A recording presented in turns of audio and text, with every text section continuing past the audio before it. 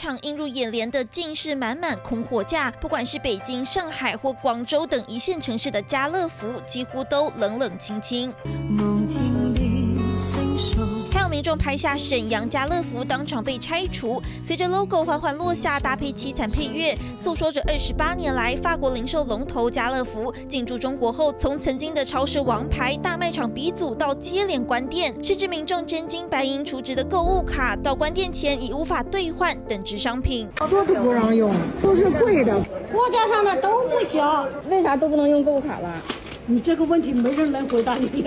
中国历经三年疫情后，经济难以复苏，大型连锁卖场、超市出现货架没补货、拖欠租金等状况。家乐福身为卖场龙头，难以幸免。直到今年四月，家乐福在北京的店面还有十五家，但短短两个月内就有十二间门市宣布歇业。超市入口全封死了。